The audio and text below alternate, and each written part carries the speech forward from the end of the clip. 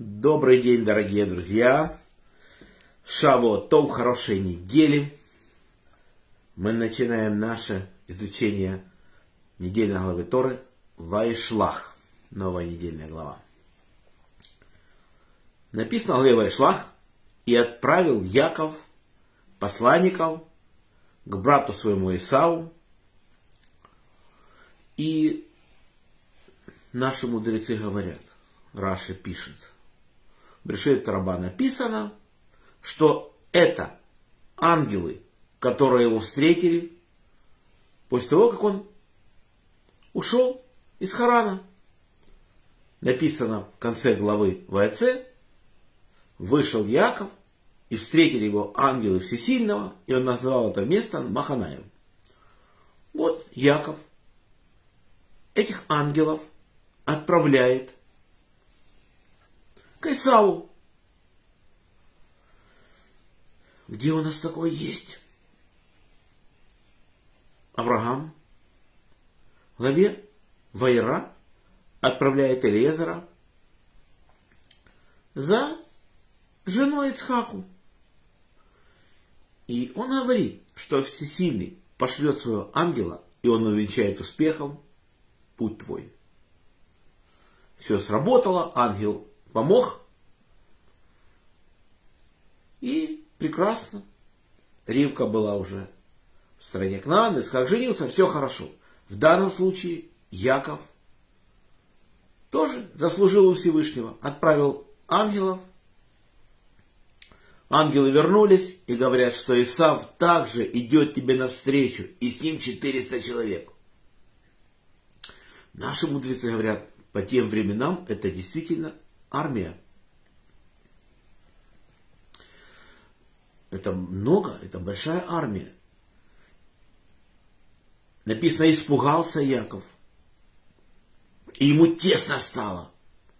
Но испугался, понятно. Ну, допустим, испугался, дрожит. Нет, ему тесно стало. Что значит тесно стало? То впечатление, что тесно, это что у него Всевышний увеличил мышцы. Так сказать, такие мышцы, что у нее одежда тесная стала в нем. А где мы видим что-то подобное? Царь Давид, он еще не был царем, царем был Шауль. И вышел на бой с Израилем, вышел Гольят. Огромный человек, рост 6 локтей, это можно сказать 3 метра, и говорит, зачем нам воевать с вами? Вы выставите богатыря, мы выставим богатыря.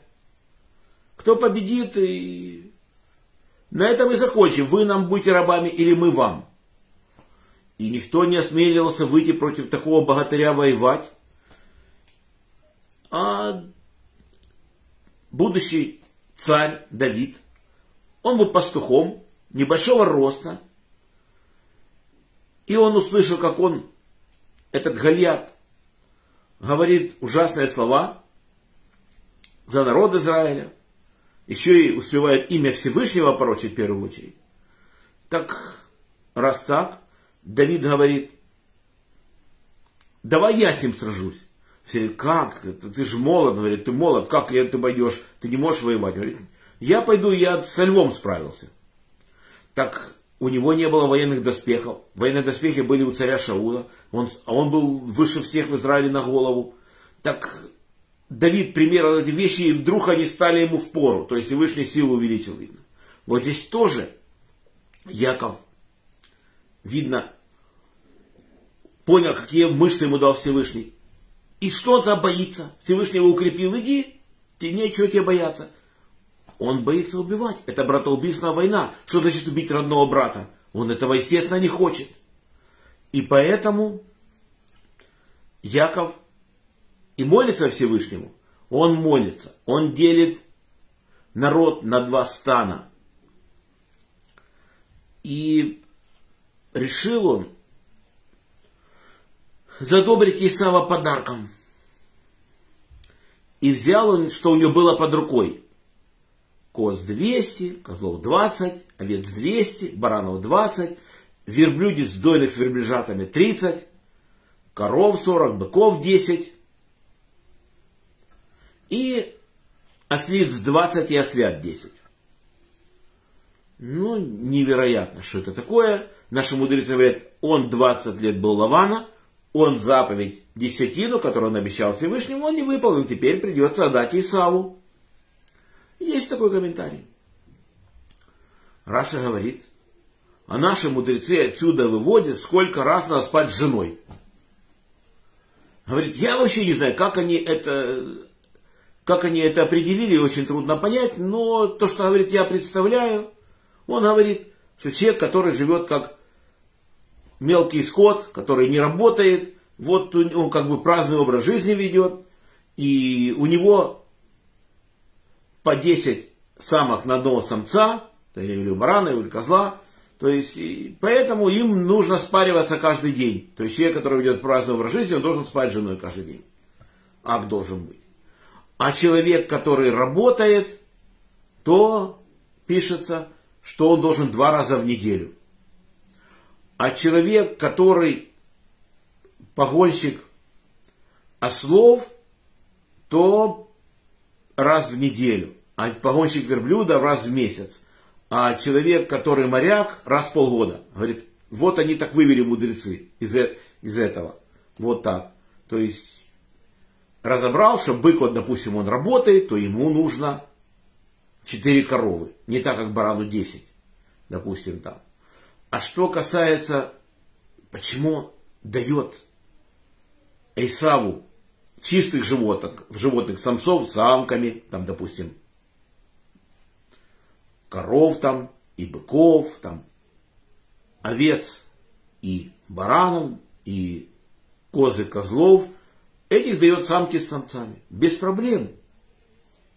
А вот некошерных животных, нечистых, то есть, если верблюд, домашнее животное, дает верблюдицы с верблюжатами, а ослит со слятами. И не пишется, что ослов и ослит. Что-то в этом есть, наши мудрецы не комментируют. Ты смотришь, думаешь, если мы берем, допустим, Авраам, посылает Элиезера, дает ему 10 верблюдов. Не пишется еще верблюдицу, только, казалось, одних верблюдов а в другом месте написано, что Иосиф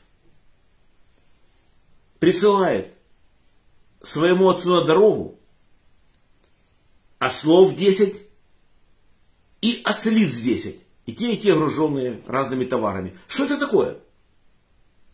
Почему здесь ослицы со слами, а тут со слятами, и верблюдицы с верблюжатами. И ни в нет. И комментария на эту тему нет, но впечатление текста, что кошерными животными Яков вообще дает понять, что и сам ничего плохого не сделает, вот сколько ты хочешь, столько размножай. А что касается животных некошерных, он это по какой-то причине не делает. Впечатление, что он держит какой-то контрольный пакет над животными, которые нечистые. Какую-то, что-то он в этом видит. Потому что Иосиф, зная это, дает понять Якову, что это он, что он ему доверяет и четко посылает ослиц и ослов. Вот такое впечатление текста складывается. Комментарий пока я не нашел. А на сегодня наш урок заканчивается. Урок был дан за души Берта бат Павел Бен Ефим, Самуил Бен Герш, Хая Малка бат Йосиф, Мира бат Авраам, Роза бат Михаил, памяти Ури бен Харитон, Мендель бен Мендель, Владимир бен Григорий, Яков бен Нахум, за здоровье Светлана бат Лара, Шимон бен Ицхак, Борис бен Мария, Анна бат Ривка, Полина Пер бат Соня Сура, Лена бат Клара, Женя бат Ида, Анна бат Елена, Евгений бен София, Двойра бат Мириам, Моисей бен Ева, Ирина бат Двойра, Йосиф бен Раиса, Инесса бат Мэйль, Евгений бен Берта, Евгений бен Ита, Фера бат Анна, Геннадий бен Елена, Ольга бат Светлана, Йосиф Дан бен Сара, Татьяна бат Фрида, Ида Батрива, Вадим бен Татьяна, Юлия Батбела, Яков Йосиф бен Рахель, Шимон бен Мира, Фейга Батберта, Ася Батгода, Марк бен Нина, Ирра Батвера, Леор бен Клара, Рафаэль бен Клара, Хана Цепора Батсара, Идда бен Хая Авива, Ефим бен Соня, Мазал Парасас Гула, Ирина Батури, Арона Нури. За хороший дух Арона Реби бен Двойра, Днис бен Ахум, Авигаль Бацара, Хана Авраам. Парасай Брют, Владимир бен Рая, Марина Батрая, Борис бен Марина. Всего хорошего Олегу Марченко. Всем браха Парнаса Кавана мазал то, что мы это время не грешили, учили Тору. Всем всего самого наилучшего. И всем желаю крепчайшего здоровья. Пусть закончится скоро эта война. И до следующих встреч. Надеюсь, состоится завтра в 15.30. Шалом.